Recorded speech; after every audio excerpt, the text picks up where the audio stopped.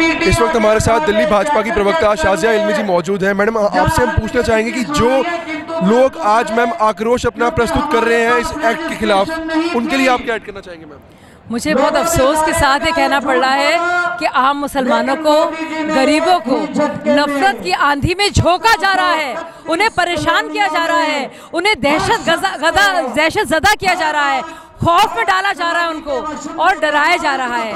सी कानून किसी तरह से ना तो किसी हिंदू को, ना किसी मुसलमान को, कहीं किसी भी तरह से प्रभावित करता है। आप क्यों मुसलमानों को इस्तेमाल कर रहे हैं भाई? और मुसलमान लोगों को उकसाया जा रहा है, उन्हें डराया जा रहा है। डर के मारे वो पत्थर उठा रहा है घबरा कर वो परेशान है। तो मैं अपील करूँगी कि कम से कम मुसलमानों को, जिसके आप हिमायती बनते हैं, जिसके आप रहनुमा अपने को कहते हैं, आप उसको क्यों इस्तेमाल कर रहे हैं? सियासी बंदूक चला रहे हैं आप मुसलमानों के कंधों से। अपनी राजनीति के लिए ये बहुत अफसोस के साथ मुझे कहना पड़ रहा है कि मुसलमानों को, दलितों को, गरीबों को इस्तेमाल किया जा रहा है। नफरत की आंधी में फेंका जा रहा है, झोंका जा रहा है।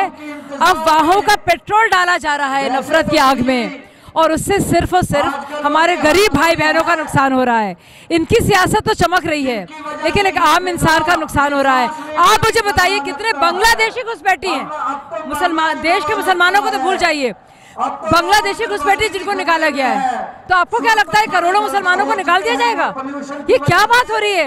ये पढ़े लिखे लोग ये जहालत नहीं कर रहे हैं। ये पढ़े लिखे लोग ये साजिश कर रहे हैं इससे हटकर आपसे पूछते जाएँगे जिस 40 लाख मालिकाना हक की जिसकी आज बात करने वाले हैं हर भाजपा कार्यकर्ता मैडम अरविंद केजरीवाल सरकार कहती है कि वो हक उन्होंने दिलवाया है इसके बारे में अरविंद केजरीवाल लगातार झूठ बोलते आए हैं। साढ़े तीन साल तक उन्होंने कहा कि जो रूपरेखा है जो मैपिंग करनी है वो हम कर रहे हैं। आज तक उन्होंने वो करके नहीं दी। लटकाते रहे काम को। कहते रहे हम काम करना चाहते हैं मोदी सरकार काम नहीं करने देती। सौ दिन में हमने करके दिखाया है। चालीस लाख लोगों को फ़ायदा। बीस साल से जो लोग इंतज़ार में थे। शीला दीक्षित के पंद्रह साल केजरीवाल के पाँच साल।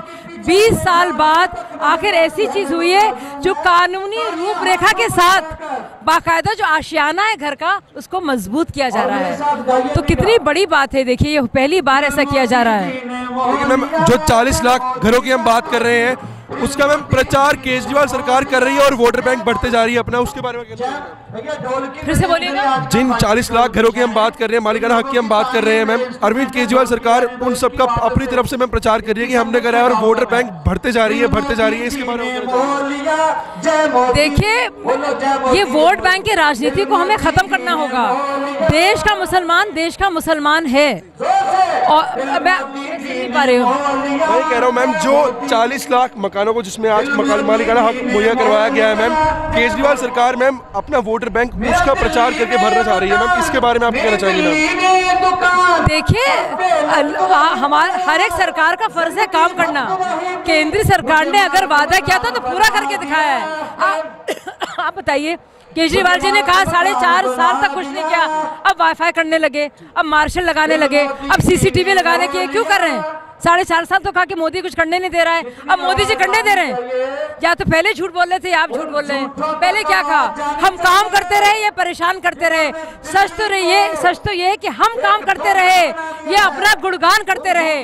हमारे पैसों से उन्होंने बिजली का जो कराया माफ़ कराया है। हमारे पैसों से गुणगान कर रहे हैं एडवर्टाइजिंग कर रहे हैं। पंद्रह सौ करोड़ हमारा और आपका पैसा उन्होंने पाँच साल में बताया है अपना गुणगान करने के लिए। तो आप खुद एक मुस्लिम फैमिली से बिलोंग करती हैं। मैम आप उन मुसलमानों को क्या मैसेज देना चाहेंगे जिनको इस एक्ट के बारे में बिल्कुल पता नहीं है लेकिन वो लोग आक्रोश अपना प्रस्तुत कर रहे हैं? देखिए दिल्ली में देखिए कितनी की जो कच्ची कॉलोनी की बात है उसमें कितने मुसलमान शामिल है। तो मोदी जी तो मुसलमानों को आशियाना दे रहे हैं पक्का कर रहे हैं। आप ये तो देखिए।